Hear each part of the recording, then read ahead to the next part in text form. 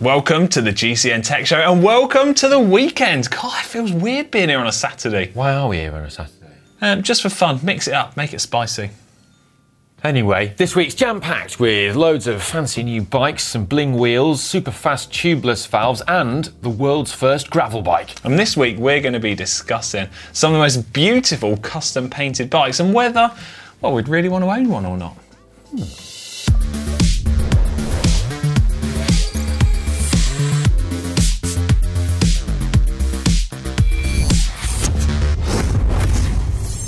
First up, let's take a look at last week's pub. You haven't been here for a few weeks, have you? I've been out on. I've been travelling. You have been travelling a little a bit lot. out of the loop of the polls. So mm. last week we asked, what do you use your bike mostly for? Options being commuting, racing, keeping healthy, and fun.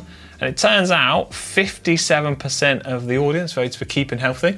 Very yeah. good. Glad to keep everyone so healthy. Um, 25% for fun, 11% for commuting, and just 7% for racing. Interesting. Hmm. Interesting. But on to our main talking point for this week, because we're going to be discussing some of the most beautiful custom made bikes that we've ever seen, starting with the Specialized Athos from Japanese artist Kosuke Masuda. And this is an incredible bike painted by himself and has been photographed by his wife, Kei Hompo. Yeah, it's off the charts. This is, I think this is the most beautiful bike I've ever seen. Um, let us know what your thoughts are. But he's taken something well, 12 grand bike already, the Specialized Athos, and then arguably turned it into something priceless. Yeah, the intricacy and detail on the textured finish of the bike is incredibly unique and incredible to see. And, and, hidden amongst the detail within the paintwork are little figures such as what's on the stem. Yeah, it's beautiful. Um, but it's not just the sort of custom paint on the frame. If you look at the chain set, he's taken sort of his engraving tool, which is kind of like a, from what I can tell, like a posh Dremel multi, and created these incredibly detailed and intricate sort of flowing patterns all over the chain set and the other alloy components too. So it's not even on just on the chain set. If you look on the brake calipers and the rotors. Oh yeah, the disc rotors. It just blows my mind. It's stunning. Well, the the intricacy on the disc rotor is on the cooling fins. It's not on the actual braking surface. Well, but yeah. Um, yeah, but it's amazing to see, and I, God knows how long it would have taken to cover all of those little individual lines and scribe marks that they've done. It's so unique. yeah, it? I mean, I've not seen anything like this on a bike ever before, but I think it's really cool. He's, he's clearly an artist, yeah. and you know, instead of using a, a, canvas or a vase, these, if you're if you're watching in America, um, he's used a bike. Yeah. And so the thing that impresses me most about this is it's not painted in the traditional method that people use to paint frames, is it? So this is done all by hand. Some of the process of doing it, I've with seen. a brush. Yeah, with a brush, like flicking um, little pigments of paint onto the frame. It creates that really unique finish, doesn't it? This has really nice texture, yeah. texture to it. It's beautiful. Do you know what? I'm going to fire us in with a poll though. A poll this early? Oh yeah, going oh, rogue. Because yeah. I want to know: Does the audience, right, think that if they had a bike that was this beautiful, this intricate, this precious, yeah. would you actually ride it? Or would you just keep it on your wall as a piece of art? Should bikes be ridden? Just let us know, vote in the poll. Because, um, I mean, do you know, part of me thinks if I had a bike that was that beautiful, it just stressed me out. Well, I think I'd be, I'd be worried every time I propped it up at the calf or any time I went down a road and there was a bit of grit fl flipping up onto the paintwork. Yeah. I'd just be it just stressed me out. It would stress me out, but I am also of the mindset that a bike is there to be ridden, regardless of how nice it is. Um, right. Well, it's not down to us, but I'm intrigued to see what everyone has to say about this next week. But anyway, on the subject of this, we've actually picked out another few bike designs which caught our eye, such as the folding feather bike, which you took a closer look at from the Bespoke show in Harrogate. And it's yeah. finished in this really cool um, candy red, isn't it? Oh, it's beautiful. And that was done by hand as well, but it's a bit more practical because it's got this full lacquer finish over the top. So it's designed to be used. But that kind of like organic flowing candy red underneath it, it I mean, it looks like lava. It's beautiful. Was it hot, was it? that's, that's, the worst joke I've ever made. That is it. Terrible. Um, also, we can't talk about custom paint without mentioning Dr. Bobby, formerly of Colourburn Studio, who we visited a few years ago. He's done some exquisite paint jobs.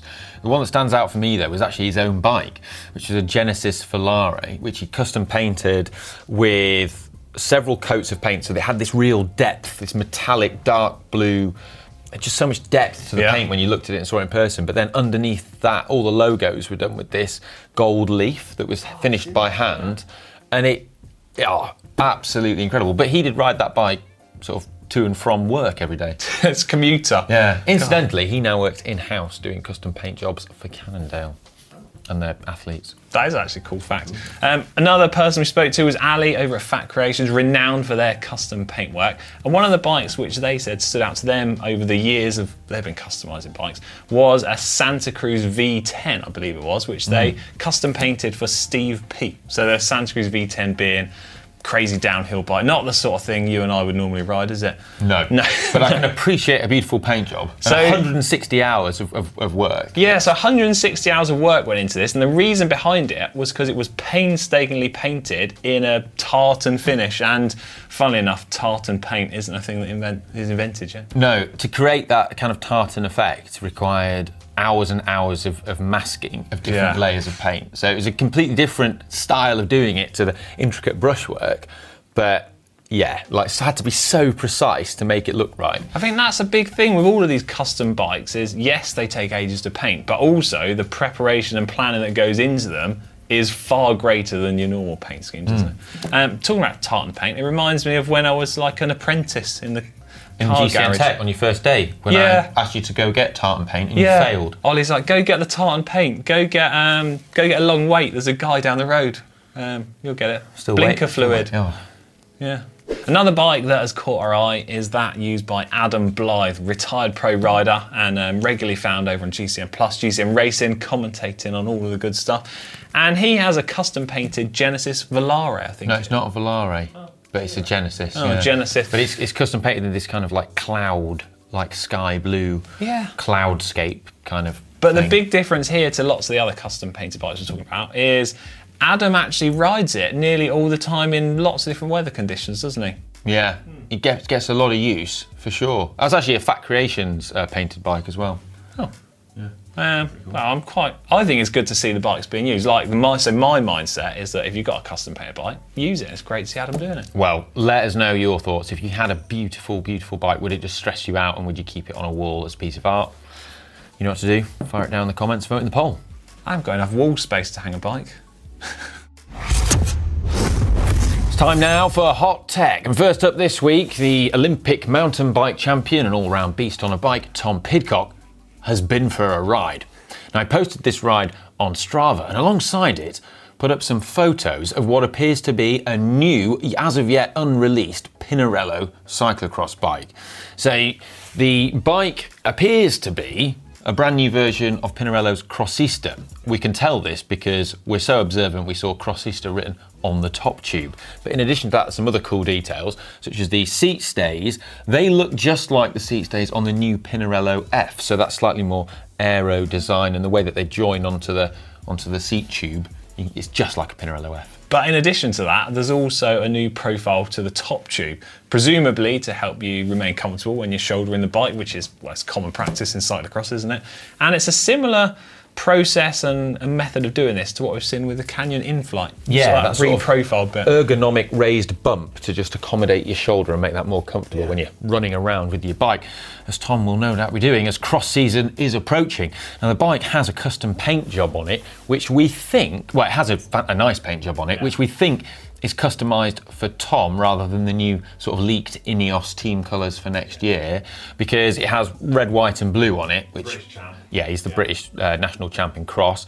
And then it's got some gold accents on it as well, which presumably is a nod to his status as Olympic mountain bike champion. I mean, come on, if, if I was Olympic champion, I'd want gold everything, wouldn't you? Yeah, probably. Yeah. Gold shoes, gold helmet. I would like play off that for quite a bit of time. Yeah. Um, Mm, Cool. Or bronze if you're Carapaz. Get a bronze bike. Anyway, Okay, um, so up next in Hot Tech, Orbea have launched the new Orbea Terra. This is their gravel slash cyclocross bike. First launched back in 2017, this is a completely overhauled version, and the designers and manufacturer Orbea said they started from scratch when designing this bike, and as such, it is completely different to the previous version. We've got seven different versions available, three colours, two matte, one gloss, you know, one by, two by mechanical or electronic shifting. And also, you can get it in the Orbea Myo custom crater. So let me give you some of the headline stats for the bike. We've got I've, are you pleased? I remember all this. Yeah, wow. Yeah, we've got clearance for 45 millimeter tyres or 50 millimeter tyres if you go for the 650B wheel set. We've got the option of one by two by, like I've said, so removable front derailleur mount, asymmetric um, chain stays to mean that we've got lots of tyre clearance, but also make it compatible with up to a 34 tooth inner chainring when you run it in 2 by setup. Um, locker, little storage device on the down tube. Is it? Like, yeah. a, like a little swap box thing? Yeah, so um, it's where the bottle cage is. Remove that, and inside the frame are these little bags, and you can store stuff in the entire length of the down tube. What did you store in there? Um, absolutely nothing. Although I did do a first look at the Orbea Terra, which we've got out on the channel incidentally a few days ago, and inside there was a spare inner tube some um, someone handily left in there. I'd probably store a banana in there, or like I don't know that you get I'd banana put, in there. I'd put some. I'd put a spring-loaded mechanism into the down tube, yeah. and then like Pringles, so that it just slowly pushes them up, and I just take, take them out. Yeah, I mean to be fair, I would mostly put ride snacks in there. Um, prices start at £2,899 euros or $3,199. If you want to see the Terra in more detail, Alex has done a first look video on it, so you can check that out. Next up, DT Swiss has got some new wheels out. These are called the ERC wheels, uh, and they're designed for endurance riding. So think big epic days out in the saddle. Something like the Mallorca 312. Oh, speaking of which, we've got a video out tomorrow with you and former beginner Freddie, where we see him making his progress through the ranks and taking on the event. And then it's safe to say, well, he's not not really a beginner anymore, is spoiler he? Spoiler alert. Yeah, spoiler alert. We all know how good he is now. Yeah, well, yeah. He, yeah, he found it proper, proper tough. So make sure you check that video out. But yeah, he's he's definitely graduated from beginner. He's um, graduated bike school. Yeah. um, anyhow, these are the new DT Swiss ERC wheels, and I've actually done a first look video on them, so if you want to find out more detail, then by all means check that out. But I'm going to give you some quick headlines. Yeah. First thing is, do you remember back in the day, in the old olden days, the olden when days. aero wheels first came out and they were V-shaped, and everyone was like, "Oh, they're great," but then they realised they were really twitchy in the. I do, I do remember the olden days. Yes. Yeah. So back in the olden days, and then then after that, people were like, "Oh, we'll make U-shaped rims." V-shape is dead. Yeah. Yeah. And everyone's like, "Oh, U-shape, great." Well, now U-shaped rims are dead because DT Swiss reckons that they have improved on U-shaped rims and made them even more aerodynamically stable and less twitchy by creating UV shaped rims. UV shape. I didn't this see that real. coming. So it's it's wide like a U, and then it tapers off on this edge here. And they have done a huge amount of aerodynamic work with Swiss Side, and have come up with this, which is apparently just far more aerodynamically stable and I've done a, a, video on it. There's loads of other details on them, including you know really fancy thin um, Aerolite 2 spokes. They're ridiculous these things. Hidden nipples, loads of aero features, and the brilliant DT Swiss 240. Freehub sound check it. Go on. Quite quiet. Smooth. Guys, 240 hub that, Alex. Oh, wow. Anyway, check out the vid if it's your thing. Oh, it's two depths as well. So 35 mil, that was the one I had, and 45 mil. Oh, nice. Next up in hot tech, although maybe not quite hot tech, is over on GMBN Tech. Doddy has done a look at an old gravel or mountain bike, which is John Tomac's bike from back in the day, 1990, I believe. And yeah. it's a Yeti C26. C How do you remember it? I've watched Doddy's video, it's great. Oh. Um, check it out. It's arguably, right, this is cool because it's arguably the first ever gravel bike. And the yeah. reason why it came about was because, well, John Tomac was competing in international, well, yeah, World Cup mountain downhill and mountain bike cross country races. Yeah. Uh, but he also rode on the road for the 7-Eleven team. He was a road cyclist, like a bit sort of like a Sagan or a Van der Poel or a Pidcock, yeah. you know, multidisciplinary, just super talented rider. And because he rode on the road, he wanted to keep his position like consistent. It, yeah. So he was consistently training in the same position with drop bars. So he put drop bars on his mountain bike. But it so basically sort of created the world's first gravel bike. 1990, the first gravel bike. It's well worth heading over to GMBN Tech and having a closer look at that bike. But it's super cool to see it with its rim brakes. got a rear disc wheel, hasn't it? Oh, it's there's, proper cool. There's yeah. loads of cool tech on this bike. Yeah. Um, also, incidentally, great year 1990. Year I was born. Was it? Yeah. Up next in hot tech, we've spotted a folding bike over on Kickstarter. Yeah, it's called. I mean, it's got folding wheels. I've not seen this before. It's called a Tuck. And well, the designers have got a patent pending 700C Yeah. folding wheel design Folding with wheel. carbon fibre tubes instead of spokes, and it all clips together, and then each segment is branded by two spokes. They described it as like pizza slices that then. Yeah, ah, okay. I've seen I've seen a picture of this, and it does look quite Yeah. cool to have carbon tubes instead of spokes. But I'm not too sold on the idea of breaking your wheel into three separate pieces and then clicking them together. Solid tyre segments. Yeah. I mean, the advantage obviously is that you get a folding bike with that larger wheel size, so hopefully you can travel a little bit further, a bit faster, and similar to a normal bike. Yeah, so but, a 700C wheel instead of like a little tiny Brompton wheel. Yeah, but what, what size was a Brompton? 16 inches.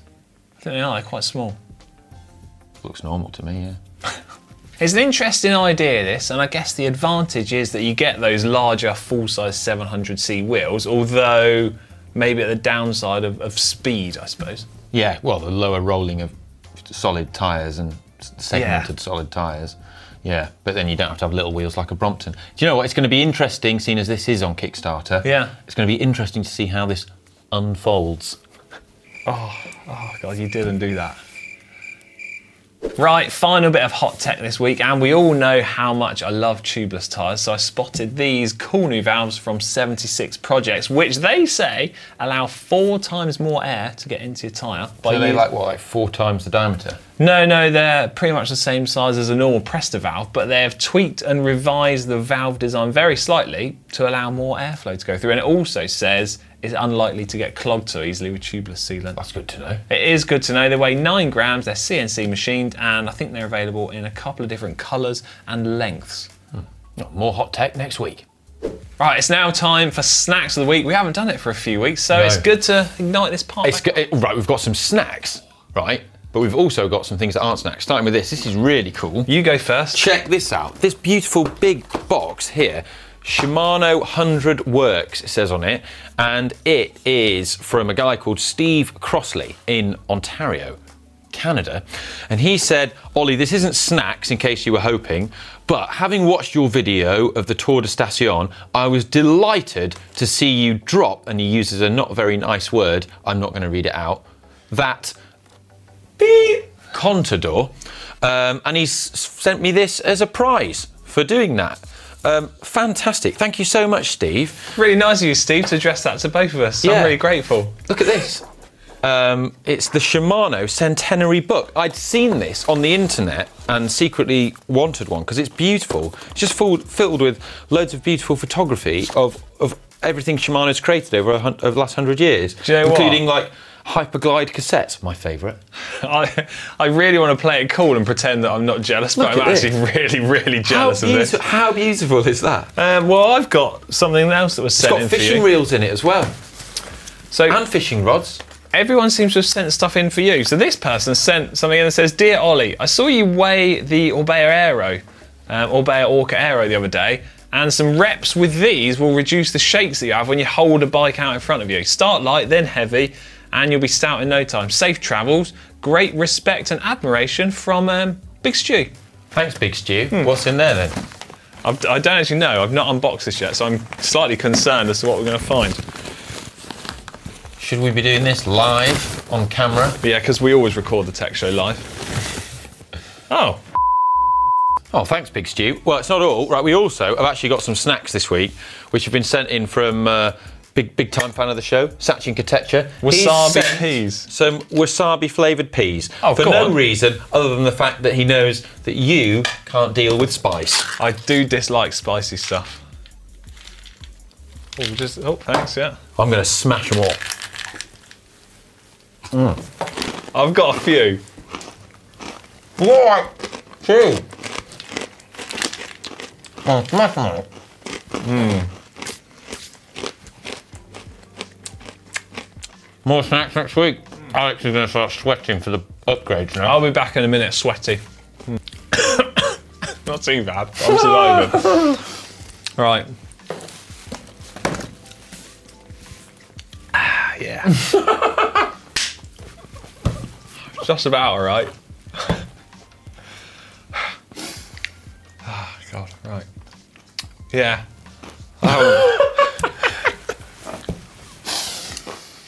I'll survive. I'll just, I'll just have a drink, don't worry about it. you breathe it in. It's... Right, my mouth is no longer on fire. I've stopped sweating a little bit and it's time for screw riding upgrades, buy upgrades, where you submit upgrades have you made to your equipment and bikes for the chance to win the ultimate prize. And the ultimate prize is water bottle. a GCN water bottle, if you couldn't quite understand, Ollie. So um, I'll start us off with the results from last week. So Yeah. last week's upgrade, oh, it was a, a three-way big hit. This was. Whoa. Yeah, I know. So we had John Michael Bike in two with his police style lights, Dazza underscore K567 with his giant TCR upgrade, and then we had Helmi Ouija with a homemade bike. And I can confirm the winner is Dazza underscore K567 taking 62% of the votes with their giant TCR upgrade. And get in contact over on Facebook and we'll get the water bottle sent out to you. This week we've got Alex Tebe, 2005, who's got a 2005 Fuji Roubaix frame, which he got for free from a junkyard. Good work. Hmm. Hope you didn't steal it. Um, he said it had a crack in it, but one of his friends was able to weld it and fix it. And then he had lots of parts at home, but then he also managed to find a few in junkyards. Hope you didn't steal them. No. Um, and he's done a couple of rides on it already. But he says it rides really smooth. It is a little bit small for him, but um, yeah, so it's great. So there's the frame that he found in the junkyard. A little bit of rust on it. Look a bit worse for wear, isn't it? It is. The finished But article. wow, look at that! Stripped of paint, redone graphics on it.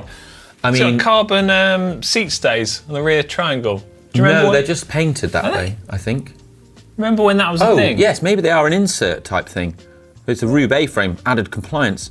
Aero seat post, but that's Yeah, that is uh, that's a cracking job you've done there. That's abs- that's great. I love that bare aluminium finish. Not enough bikes have bare aluminium finishes. Let it be said. I've said it. Right, who's it up against? okay, right. I'm glad you got that out of your system. Hmm. They're up against Kea Bengu with a bike, which they say they picked up an old giant bike with a bunch of rusted parts and worn down components, stripped it entirely and upgraded it along the way, giving it a period correct Deore parts with a mix of race face and a one by narrow wide front chainring. It's got a commuter rack, some slick cruiser bar, and also um, also the stem combo from Velo Orange. Sorry, laced up some chunky new tyres.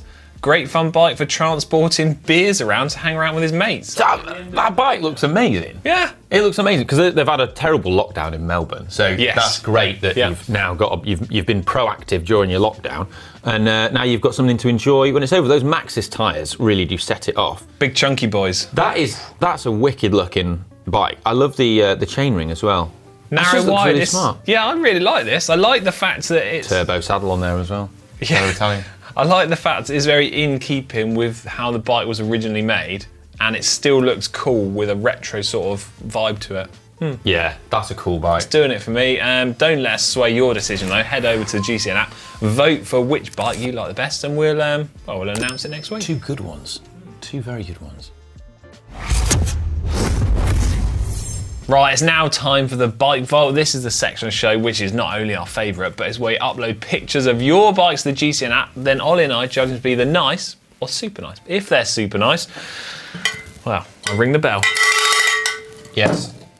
And they go into the bike vault forever. You can play along at home by voting on the GCN app with all the bikes featured. First up, the most super nice bike from last week. What was it? Um, unfortunately, I don't have that information to hand. Hmm. Right, okay then. Um, so, well, first up into the bike vault, trying to get in this week, is Darren Goh, who uh, has a Curve Belgie V3, and it's been photographed at the Jetty in Singapore. What do you make of this? Oh, I like this. Titanium. Um, Looks beautiful. Love the carbon fork. yeah. Oh, he's, oh, he's, oh, we've he's got a lined four up screw set. Tyres. He's got. This is weird, controversial. SRAM 4 screw set. Yeah. Shimano XT rotors. Oh, that is controversial. Um, I'm, I'm, okay going super that. nice. Yeah, I'm going super nice. Super Yeah. nice. Look at, look at all the look at all the freight, the shipping freight. Yeah. In the background. I was a bit rusty ringing the bell then. Manon's rung it for a couple of weeks. So, yeah. Who's up next? Uh, next one we've got Donegro, who says they well they've got a Trek Madone SL6 from 2022. Oh my goodness, why on earth is it lent up like that? Jaunty angle. Risk scratching the seat post there on that that huge pole. Yeah. Um, Crank's weird- not aligned. We oh oh god, not Biggie Smalls. Just uh, what? Oh, way, way, way too many omissions and errors with this Yes. bike. Um, it's a nice for me. We're going to brush past it. Yeah, Next nice. up is Benjamin. Benjamin. with his Orica Green Edge 2015 team issue frame, and he's done it as a lockdown build project. He's he's banged some of the components on there. Oh, I like this. That is a very very nice bike. Do you not think? Um, so, what year was that? 2015. Do you not think this bike looks slightly dated now already? It does, but that's fine. Yeah, it's, it's- a classic. it's cool. It is a classic. It's a beautiful bike. Just you think it's not that long ago, and I do like it. Those old Scott Addicts are some of the lightest sort of rim brake frames ever created. I'm a big fan of them. Big on the hill climb scene. I mean, he's done everything right. He's, he's I mean, he's, oh, it's a super nice. It's super Easy. nice from You're me. Making my life easy. Right, making life easy. Uh, next up, we have got A catchy name. a catchy username. N55GD7XZDM. yeah, I think you, you nailed that one. Yeah, good A job. lot of a lot of droids watch this show. Yeah, this is a Rodeo Adventure Labs Trail Donkey, apparently. Um, fitted with Campagnolo Ekar, Ekar. Um, oh, I like this. It's like a real um, rowdy gravel bike, isn't it? Mm. We've got big, massive, chunky tyres, sort of a mountain bike style geometry. I think this is the tech show's first rodeo. Well, you, you weren't lying when you said you had more puns, were you?